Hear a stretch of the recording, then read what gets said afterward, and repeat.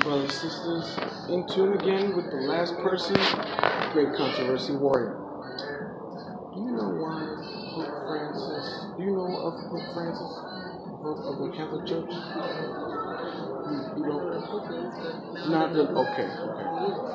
So, do you know why he's so famous though? He's very famous right now. No. Educate. Okay. Well, he's very influential. He's had uh, many political leaders, sports figures, people that are uh, that are business, multi-million businesses. Uh, Facebook, the Facebook founder went to the Vatican, asked for his blessing. Instagram uh, founder went to his Vatican. All these different people went over there to get his blessing, and he's very influential in the world. Do you know how many followers he has on Instagram? 5.2 million. And in less than two weeks, look at this. In less than two weeks, he had 2 million followers. In less than two weeks. What do you think of that? I mean, clearly people know. Right, right, so right. they, they gonna follow him. Now, there's a, a couple things I want to just say of statements that he's made. And he's a, and remember he's a he's a church Christian leader. He has said that Jesus Christ was a sinner. He said that evolution, the, the, the Big Bang Theory, helped God in creation. And he's also said that divorcees and, uh, and divorced people can get baptized now in the church and that gay people can go to heaven. What do you think of those statements? Of, of being a Christian leader, uh, saying those kinds of statements. What do you think of that?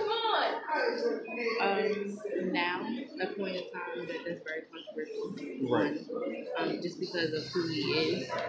Secondly, um, it's not that he shouldn't have said it because he's always allowed to have an opinion. Um, All right. so, it's, Wait, I'm doing is something. He's not God. So Right, of course right. he's entitled to have an opinion. Right.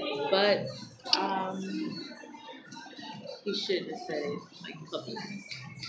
Now, one last one last question, or one last statement that I want to make. Do you know where the Big Bang Theory uh, was formed? Do you know who invented that? It was a Jesuit priest, Catholic Jesuit priest, named George Lemaitre in 1930. What do you think of that? That that bit of the Theory. Yeah, of a no of a Catholic priest inventing Oh, that inventing theory. that theory. Hmm.